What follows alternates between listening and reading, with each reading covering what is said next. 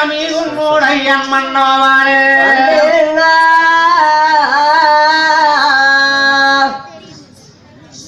உன்னுடைய ஆத்திரமண்டாரே வந்து நின்று ஆமா. ஆனால் நாம அதனை கூப்பிட்டு பார்க்கலாம். கூப்பிட்டு பார்க்கலாம் என்று சொல்லித்தானே கொலையா சாமியானவர். சரி நாம உரிமையோடு சத்தம் போடக்கூடாது. நாமல் வந்து தானியமாக வந்து இருக்கிறோம்னு தான் பெரியவர் சொல்லி விட்டுருக்கிறார் சாமியே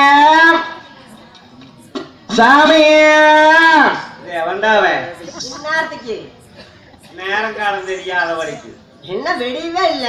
பெரிய அரமனை பெரிய விட்டு தேவை. அத்தனை பேர்த்துக்கு தான கல்யாண தானியங்கள் எல்லாம் வழங்குனீங்க. நான் வாருங்க கொஞ்சம் நேரம் ஆயிடுது. கொஞ்சம் தானியம் இருந்தா போடுங்க சாமியே. ஏக்கா பிச்சைக்கு வரவனுக்கு நேரம் காலமே இல்லையா. நம்ம மாளிகையிலே கல்யாண விழா என்று சொல்லி அனைவர்களுக்கு நாம தான தர்மமாக செய்திருக்கிறோம். ஆமா. ஆனா இறுதி நேரத்துல வாரி யாரோ ஒரு பெரியவன் போல இருக்கிறது. யாருன்னு தெரியல. ஆனா இல்லைன்னு சொல்லலாமா? இந்த ஒருவனுக்கு இல்லைன்னு சொல்லி சொன்னோம்னா நாம ஆயிரம் பேருக்கு கொடுத்த தானத்திலே பிரயோசனம் இல்லாத போயிடும் அதனால இல்லை இந்த ஒருவருக்கும் அதை கொடுத்து விட போகுது. அப்படியா? கொ- கொண்டு வாங்க அப்படி என்றுதானே ராமரையரியனாட்சி அலங்கார சிங்காரத்துடன் இருக்க இன்னும் கொஞ்ச நேரம் கல்யாணம் நடக்க போகிறது. விடுதியோட்டு வந்து மாப்பிள்ளை முகூர்த்த மேடைக்கு வர போறாங்க அதற்கு முன்னதாக மாயவர்தான் எப்படி உருவாக்கி விடும்போது ஆனா கிராமத்து மக்களே எல்லா தவசம் தானே வாங்கிட்டு போனாங்க. போனாங்க. இப்போ ஒரு ஆள் வந்து கடைசியிலே பிச்சை கேட்குது. இல்லைன்னு சொல்லப்படாது. சரி சரி போட்டு விடலாம் என்று. கம்பைத்தானே முறத்தர போட்டுக்கொண்டு அந்த வெறுமாயம்மா வந்து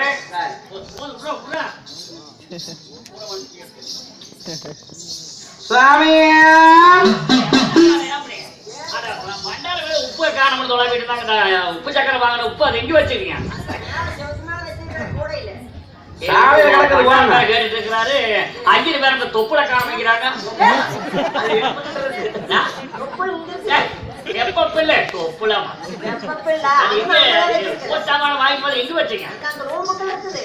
எந்த ரூம் கல்யாணம் வச்சு வாங்கிட்டு வந்த சாமான பூரா இந்த ஆனா ரூமுக்குள்ள. மணா நேற்றுக்குள்ள பூ வேற இல்லைன்னா கனகாம்பரம் பூ எங்க வச்சுட்டு கேட்டுருக்காங்க எவனோ பிச்சை பிச்சைன்னு வந்து நிக்கிற. ஓட்டு வா சாமியே ஏன்டா உனக்கு நேரம் காலம் தான் இல்லையா? பிச்சை பிச்சை.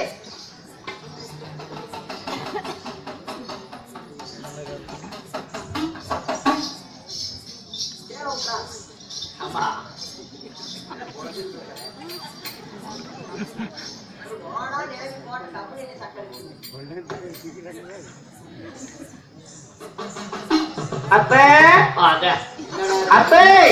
சாமி இப்ப போனவனே. கொடையா சாமியோ கம்பை வாங்கி பார்த்து விட்டுத்தானே அத்தை இந்த கம் கம்பு வாங்கறக்கான வந்து நினைச்சீங்க. நான் கம்பிக்கு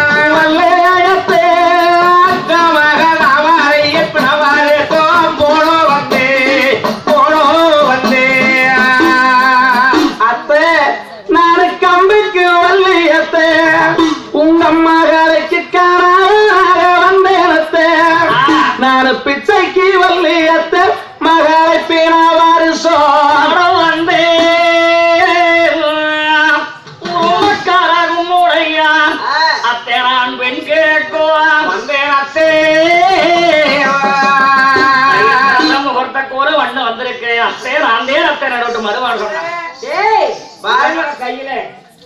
இது தயிர் கலசமங்கத்தை ஆ, இது முகூர்த்த கால் போடுறக்குங்கத்த கிளீனா வந்துட்டு கல்யாணம் முடிச்சுட்டு போயிடலாம்னு. ஏன்டா அப்படியே வந்துட்டு அத்தை. எங்கேயும் தாமரை எங்க. அத்தை ஏண்டா, ஆடு மாடு மேய்ச்சிட்டு நத்தக்காடு பட்டியல வயசு சோத்த தின்னு ஓட்டு படுத்து தூங்கினியாடா இப்ப தயிர் கலசமும் மூர்த்தக்கால் மணி தோட்டு அத்தா எனக்கு நான் எங்க போய் சாகிறது? அதான் நாசுனா போக கொள்ளைன்னு அத்தை! போக அத்தை இங்க பாருங்க நான் கல்யாணம் முடிச்சுட்டு போலாம்னு வந்துட்டேன். அத்தா அத்தைன்னு செத்த. ஒருத்தர் இல்லாத தேவை இந்த நேரத்துக்கு எல்லாம் கப்பு இருக்க தேவையில்லை. யாராவது மாப்பிள்ளை வீட்டுக்காரர் நாலு பேர் இங்க வந்து இருந்தாங்கன்னா அருமானம் அஞ்சு கட்டு இருக்குண்டா அத்தை நான் கல்யாணம் முடிச்சுக்கலாம்னு வந்துட்டேன் தாமரையே. ஆடு வீடு மேய்ச்சி காடு நல்ல அமாவாசை. மூணு நாளைக்கு முன்னே முடிக்குமா ஆமா ஆமா. அத்தை. மாமா மாமன் எங்கீங்க நான் தான்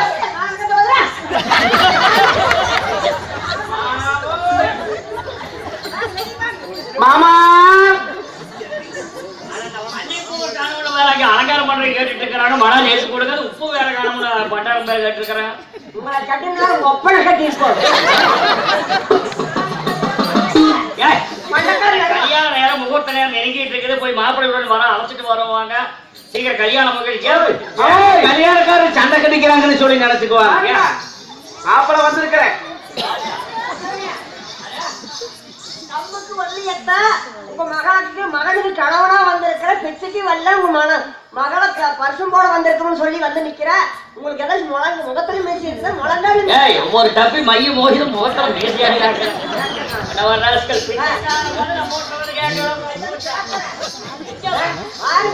நிக்கிற. மந்தையெல்லாம்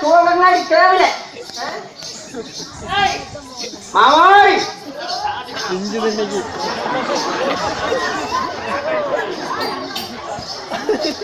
மாமாய் அடே குழந்தையா மாமா. மாமா நான் தாமரை கல்யாணம் பண்ணிக்கலாம்னு வந்தேனுங்க மாமா. எது எது? தாமரைய ஏன்டா ஆவ குடிசல அங்காம தூங்கிட்டு இருப்பி ஆடு மகளை வச்சுட்டு இங்க இருக்கு வந்தேன். மாமா கல்யாணம் பண்ணிக்கலாம்னு வரேன் கூட்டு வந்து நிக்கிறாங்க ஆ? கல்யாணம்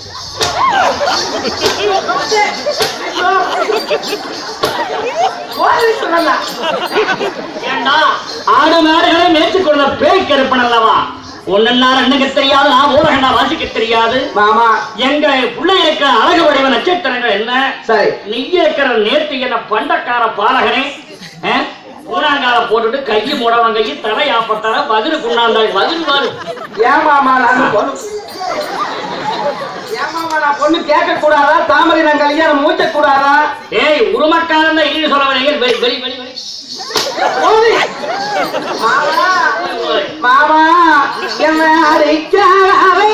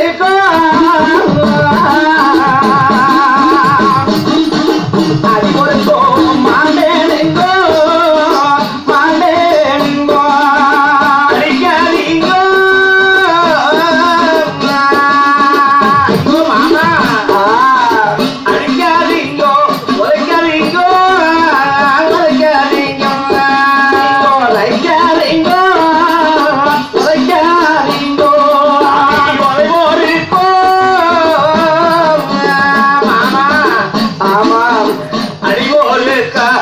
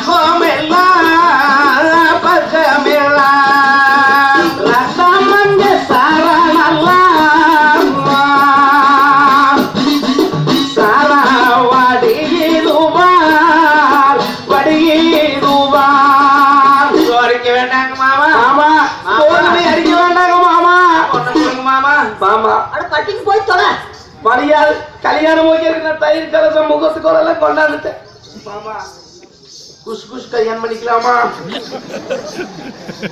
ஏய் அட போயிரு நீ. முடிச்சுக்கிறது என்ன கல்யாணம் வேற ஒரு பக்கம் நிச்சயம் பண்ணிட்டு தான் மாட்டேங்கிறீங்க? அதனால சோழ நாட்டு மந்திரி மகனுக்கு பரியம் பத்து லட்சம் கட்டி மாப்பிள்ளை வீட்டுல விடுதி வீட்டுல இருக்கிறாங்க. சற்று நேரத்துல கல்யாணம் நடக்க போகுது. மாமா. ஒரு ஆறு மேலே மேய்க்க கொண்டிருக்கிறீங்க சரி. உருவக்காரர்களை தன்னால எங்கடா இருந்தேன்? நீ கம்மல் போய் சேரு முடியாது அவனை புடிச்சு கருவேராமரத்துல கட்டுங்கன்னு சொல்லித்தான் ஆமா. வெள்ளி முள்ள காவல்களை வச்சுத்தான கருவேராமரத்துல கட்டி. மாமா. அறியாதெழுந்தாங்கோ ஆக்கினிகள் செய்வாங்கோ. எம்பெருமான் மாயவர் வந்தார் அந்த இடத்துல. சரி. அடிக்கக்கூடிய பாறைகளை எல்லாம் கண்டு கண்டு. ஆமா. அடிக்க வேண்டாம் ஐயா. என்ன தவறு பண்ணி அவனை எதுக்கு அடிக்கிறீங்க இப்படி? நீங்களே சொல்லுங்க ஊருக்கு ஐயா ரொம்ப வயசான ஐயா. நீங்களே இந்த நாட்டை சொல்லுங்க. எத்தனை பேர் தான் நான் சொல்லு சொல்லு ஐயா பெரியவரே. சொல்றேன். ஐயா பெரியவரே. நான் இது எங்க அத்தையோடும் மாமனோடும் சொல்லி வந்து பொண்ணு கேட்ட பாவத்துக்கு குதிரை சவுக்கில் அடிக்கிறாங்க ஐயா. அவங்க அடிக்கிறீங்க ஏங்க ஐயா நீங்க நீங்க உள்ளே இருந்தா அப்படி கேட்டா ஒத்துக்குவீங்களா நீங்க?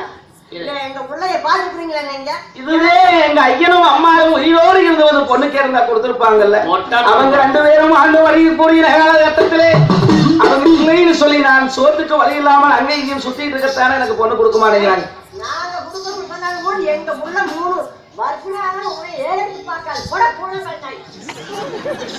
ஆனால் மாமா. அடிக்க வேண்டாம் ஐயா.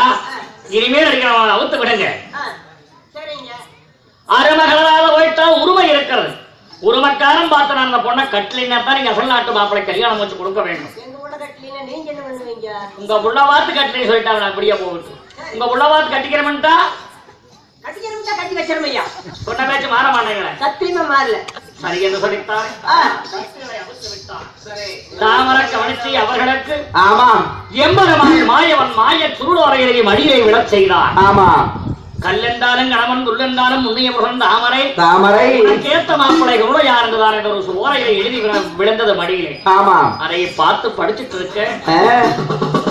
தாதிமார்களை விட்டு போய் கேட்டு வாங்க. ஆமா. அத்த மகன் கூட யார் இருக்கா? அண்ணவரை கல்யாணம் வச்சுக்கிறீங்களா எல்லாட்டு மாப்பிளை கல்யாணம் வச்சு கேட்டுட்டு வாங்க. தாதிமார் அனுப்புனார்கள். ஆமா. ஏழு மாடிக்கு மேல் மாடி அலங்காரம் பண்ணி கூட அறைய தேடி அந்த தாலிமார்கள் தானே ஓட்டம்பாரு நாராயா என்ன? ஓட்டம்பாரு